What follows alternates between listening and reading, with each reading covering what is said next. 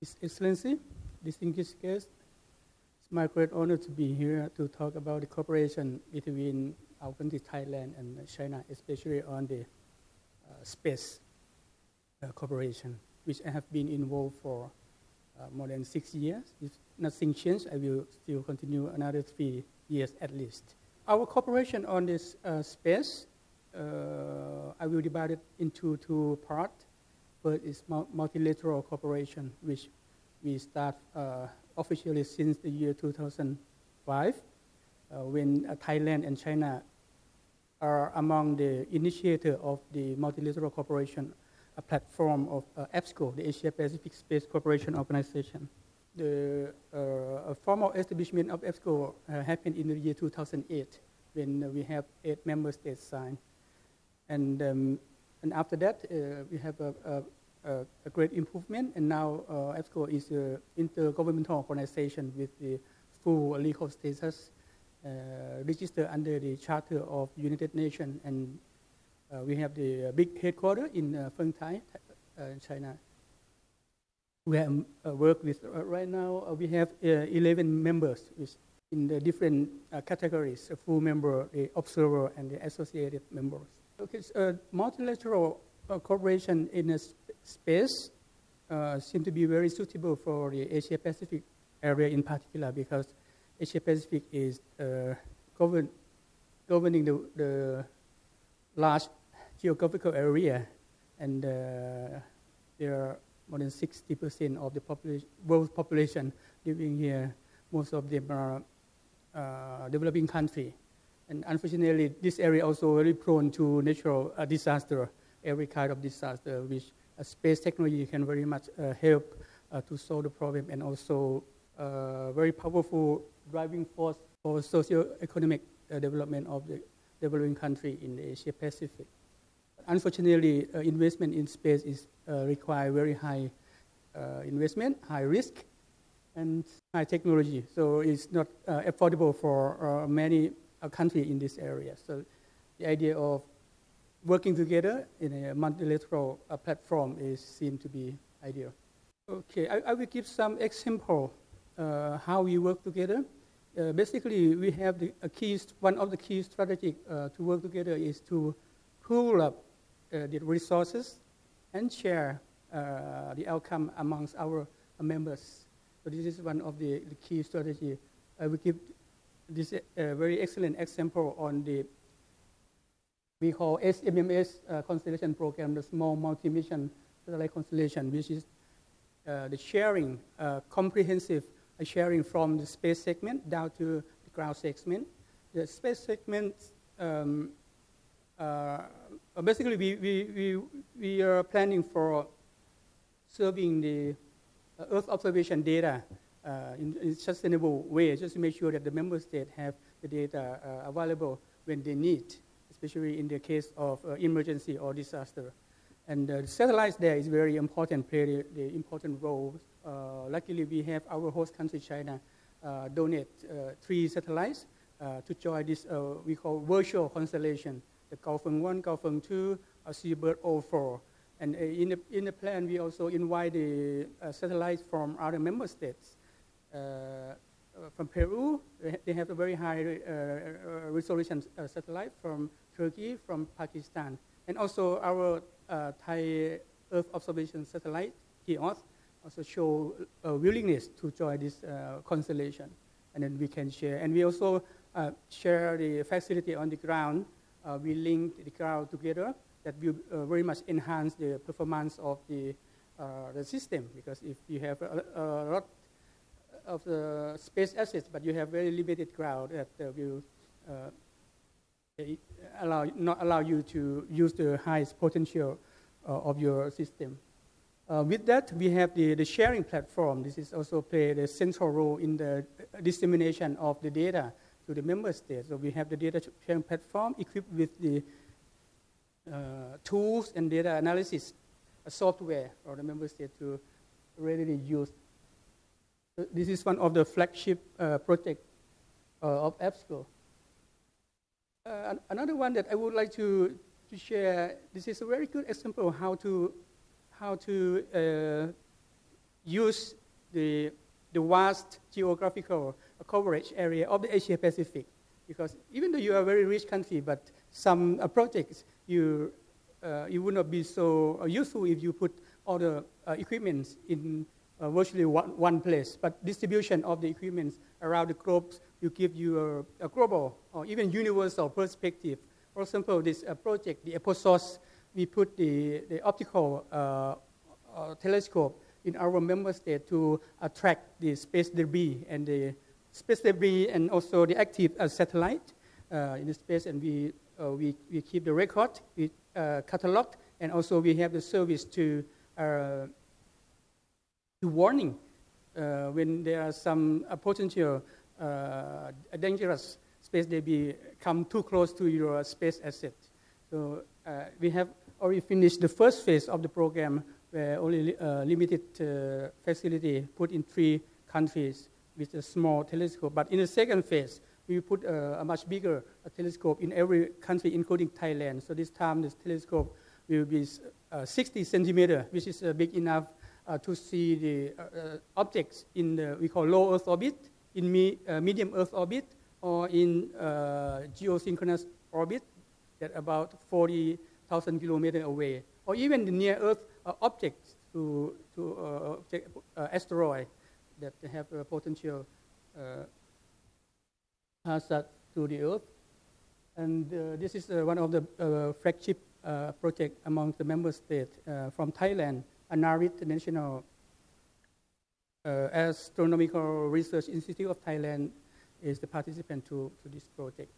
Again, I, I try to point out how uh, the multilateral cooperation can enhance the, uh, the work in the space.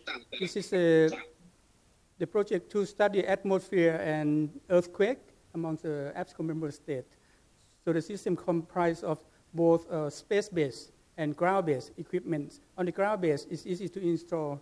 So we have uh, hundreds of uh, uh, nodes of the observation, mainly in China and also in other member states. Like in Thailand, we have the receiver uh, installed in uh, Chulapon uh, receiving station in Kasetsart University, mainly to study the TEC, total electron content, and scintillation parameter for the GNSS signal. Installed for quite some time, and also I want to show that also the magnetometer will be installed in the King Mongkut Institute, Institute of Lat Krabang in uh, Prince Chumpon campus beside the contract last year, and you can see the background, the, not only the palm tree, but also the antenna to uh, send the signal to the uh, space and receive the uh, re, uh, reflection and study the ionosphere, ionosphere uh, layer of the Earth. So also we are very lucky to have the a CACA satellite, the China Seismo-Electromagnetic Satellite that has been launched by China recently. This is one of the most sophisticated satellite in the kind in the world. And, and, we are lucky enough for the host country, China, to share the data of this satellite to our member states through the platform we call the SOAP platform, the Seismic Ionospheric Observation Application Platform. So all member states, including Thailand, can uh, retrieve data. And uh, in the platform, we also provide the analysis tool, uh, uh linking, fusion of the information, both ground-based and space-based in many uh, dimensions, many, many aspects, and uh, hopefully we can uh, see or even predict the event of earthquake to prevent the loss of life and property.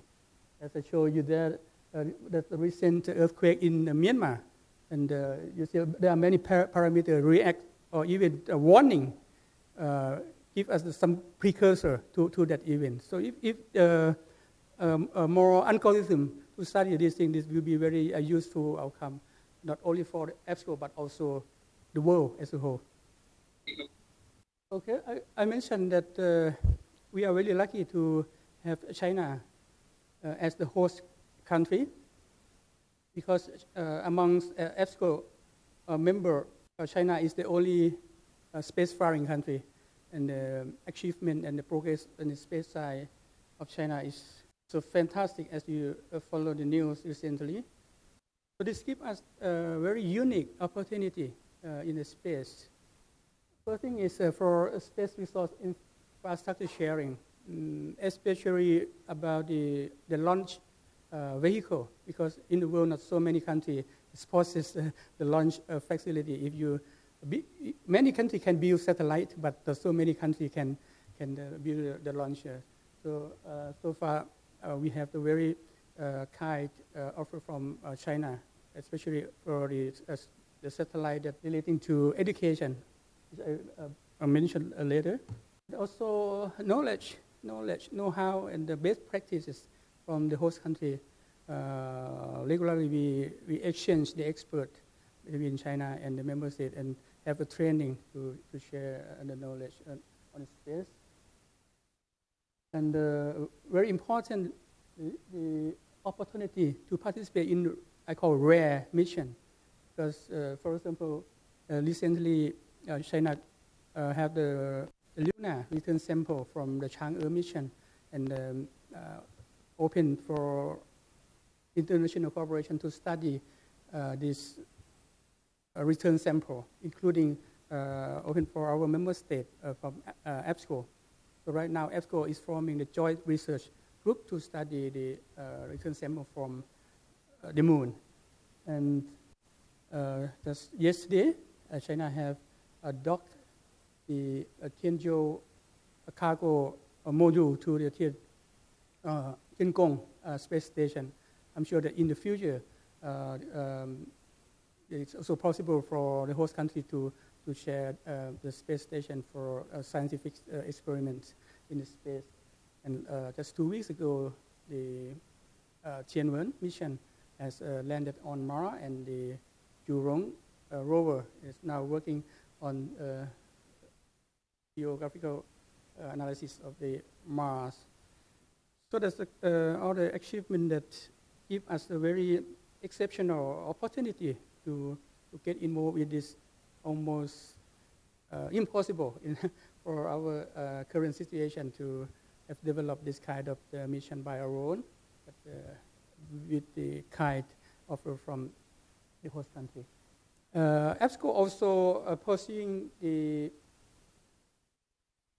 education, uh, especially in aerospace field, uh, cooperation with the China uh, uh, Scholarship Council to provide free support about of 45 students per year, both a master degree and a PhD degree, to the three top universities in China, Beihang University, Harbin Institute of Technology, HIT, and uh, uh, NPU in Xi'an. So this is a, uh, a very top aerospace school in China. And so far, have recruited 215 master, 62 PhD. Among that, 26 master 14 PhD from Thailand. Uh, right now, many of them are pay, playing the a leading role uh, in uh, space developing in, in their country.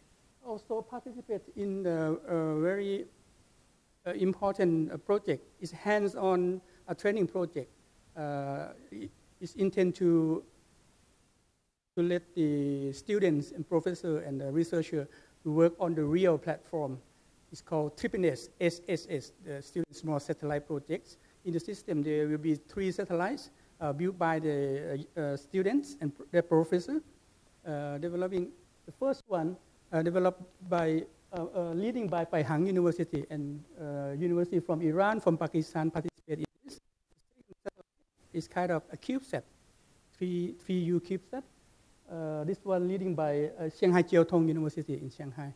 And uh, Pakistan, Iran also joined that one. The third one, this is the S2B, joint developed by Thailand and Turkey. Right now, the the satellites already uh, completed. They are under the test, the final test, because they're waiting for the next launch opportunity in, in October. Uh, again, uh, the host country, China, provide free launch for this uh, education uh, uh, space mission. Okay, I, I talk about the multilateral cooperation between China and Thailand through the Asia Pacific Space Cooperation Organization platform, we can see that uh, there are many potential uh, cooperation and projects in uh, space science, space technology, space development, space application.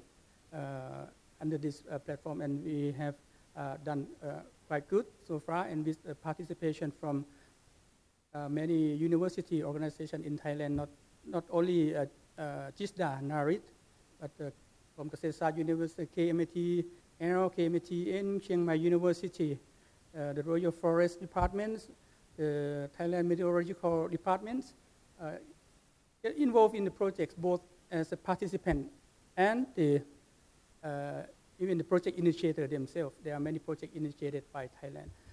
So on the bilateral cooperation, we also have a long history, especially uh, between the university and research institutes on the space uh, field. Uh, for example, Wuhan University also have the cooperation with uh, GISTDA under the Sirindhorn Center for Geoinformatics uh, Research, uh, located in uh, Sriracha, Chonburi province. And uh, last week, I just visited the NSSC, the National Space Science Center in China, have the close cooperation with NARIT on the study of the space weather. They also have already have, that cooperation. And um, this one I show here, this is very uh, important cooperation between uh, Institute of Optics, Fine Mechanics, and Physics, which is one of the top uh, institutions uh, in China. Uh, cooperation with the Thai uh, Space Consortium, which is the consortium cooperation uh, amongst the uh, organization in the Ministry of Higher Education, uh, Science, Research, and Innovation, such as GISTDA, NARIT, uh, Synchrotron Light Research Institute, and other universities form, uh, form up the team as a consortium to work on this uh, uh, remote sensing satellite. It's going to be uh, quite a high accuracy, maybe one meter ground sampling uh, of the image. Uh, with the joint development with Changchun Institute, and also the capacity building, the technology also, uh, technology transfer also included in the, the contact. If there is no uh, COVID pandemic, this young engineer team supposed to be here in Changchun uh, at this time, but unfortunately the pandemic stopped them.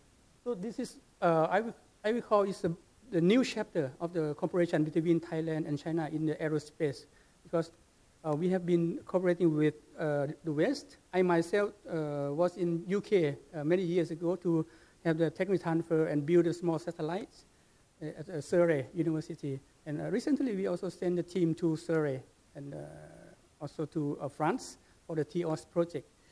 This is the first time that we have the, this kind of technical transfer in this, in this high tech and usually not easy to, to have the technical transfer between the, the two countries. I call this is the, the new chapter of the cooperation, and I'm pretty sure that in the future we will see more and more cooperation between uh, Thailand and uh, China, and also not in, only in the uh, uh, aerospace but also in other uh, science and technology. So, thank you very much.